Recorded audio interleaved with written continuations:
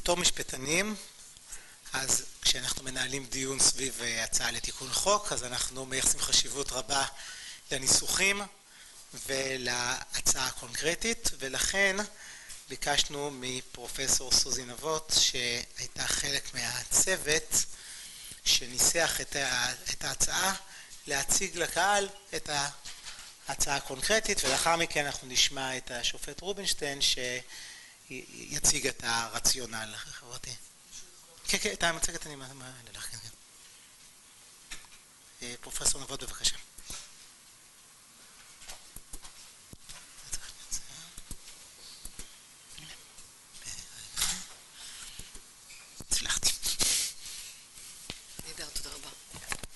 רבה. תודה רבה למארגנים של הכנס החשוב הזה. אני התבקשתי להציג את ההצעה של פורום המשפטנים שנטלו בו חלק קודם כל השופט אליקים רובינשטיין שהוא המשנה לנשיאת בית המשפט העליון, פרופסור שחר ליפשיץ שהוא ראש המרכז היהודי דמוקרטי בפקולטה למשפטים בבר אילן, פרופסור עמיחי כהן שהוא דיקן הפקולטה למשפטים לשעבר בקריית אונו ותת אלוף אמל אסד יחד וכמובן אני ככה בסוף גם ותודה מיוחדת בהזדמנות חגיגית זו גם לריקי טסלר על עבודת התיאום המוצלחת במיוחד של הצוות. יש במסמך שלנו שהוא קצר מאוד שלוש הנחות יסוד סמויות, שלושה נעלמים ושלושה תיקונים שיהיה קל להבין. הנחות היסוד הסמויות שלנו הן כאלה. אנחנו חושבים שחוק היסוד הזה הוא ראוי. זה לא מובן מאליו משום שברגע שהוא נחקק הציבור ולא רק המשפטנים נחלקו לשניים, אלה שחושבים שהוא נפלא ואלה שחושבים שצריך לבטל אותו. והגישה שלנו הייתה אחרת. אנחנו סבורים שיש מקום לחוק יסוד כזה שהוא בעיקרו ראוי ואת הפגמים או הכשלים שנפלו בו אפשר לתקן בגישה מינורית כשהנחת היסוד שלנו זה כיבוד המחוקק ולכן אנחנו עבדנו על הנוסח שהמחוקק הציב. הנחת היסוד השנייה היא שאנחנו מתייחסים לחוק יסוד הלאום כאל פרק בחוקה של מדינת ישראל. לא סתם עוד פרק, אלא פרק שאולי בעתיד יהיה פרק המבוא של החוקה. משהו בנוסח We the people, כמו בארצות הברית, אז זה לא יהיה We the Jewish people, זה אולי יהיה We the people of Israel במובן של כל מי שנמצא במדינת ישראל, ולכן אנחנו חשבנו שיש צורך לטפל בכשלים במסגרת חוק היסוד, ולא לבנות על זה שאולי חלק מהפתרונות יבואו מזה שאנחנו נקרא חוקי יסוד אחרים. למשל, אם יתוקן חוק יסוד כבוד האדם וחירותו, ויכניסו לשם את העיקרון של שוויון, מה שהיום לא מופיע, אלא הוא נובע מפרשנות של בית המשפט, אז זה יפתור את הבעיה. הנחת היסוד הייתה שאנחנו רוצים בעצם לראות את חוק היסוד כשלם, ולכן יש משמעות סימבולית לכל מה שנאמר בו. והנחת היסוד השלישית היא שאנחנו בצוות מאמינים באמונה שלמה שמדינת ישראל היא מדינת הלאום של העם היהודי, ושלא בלבד. דהיינו זו מדינה שבה מתממשת הזכות להגדרה עצמית כזכות של קבוצת לאום רק של היהודים. אבל לאחר שאמרנו את מה שהיה ברור מאליו מיום הקמת המדינה, עדיין יש צורך להסביר שזה חוק יסוד שמתייחס לכל מי שנמצא במדינה הזאת, וזה חוק יסוד שצריך להתייחס לנוסחה הבסיסית של מדינת ישראל, דהיינו מדינה יהודית ודמוקרטית. עכשיו, אלה שלוש, שלוש הנחות היסוד. שלושה נעלמים יש בחוק יסוד זה, שלושה נושאים שהושמטו ממנו. הבעיה בחוק יסוד הלאום, אני מניחה שעוד תדברו עליה גם מחר, אם לא דובר בה מספיק, זה לא מה שיש בו, אלא זה בעיקר מה שאין בו. קודם כל, הוא לא מזכיר, ופרופסור ליפשיץ דיבר, דיבר על כך קודם, הוא לא מזכיר בכלל את הנוסחה הבסיסית שמדינת ישראל היא מדינה יהודית ודמוקרטית. הוא מוחק את המילה יהודית מהנוסחה הזאת. חוק היסוד מתמודד רק עם אחד הערכים, ובכך הוא סוטה מהנוסחה שאנחנו הורגלנו אליה, שהיא נוסחה מכילה, שהיא נוסחה מאזנת, ולכן יש בה איזשהו משהו עדין, אנחנו גם יהודים אבל גם דמוקרטים. והרעיון שהדבר הזה לא נאמר, הוא הושמט, והוא הושמט בצורה מכוונת. זה הנעלם הראשון. חוק, הנעלם השני זה נדמה לי שמה שתת-אלוף אסד דיבר עליו כרגע.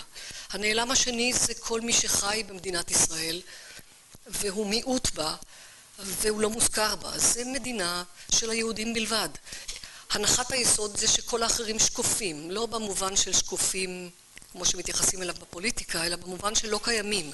אין אצלנו מיעוטים, הם לא מוגנים, אין להם זכויות, זה בכלל לא הבית שלהם. לכן רצינו לטפל גם בנעלם השני. גם מי שאיננו יהודי, ישראל היא הבית שלו. ואנחנו חייבים לטפל בתחושת השותפות של כל מי שישראל זה ביתו. והנעלם השלישי, חוק יסוד שעוסק בערכים הבסיסיים של המדינה, שלא מזכיר את המסמך המכונן שלנו.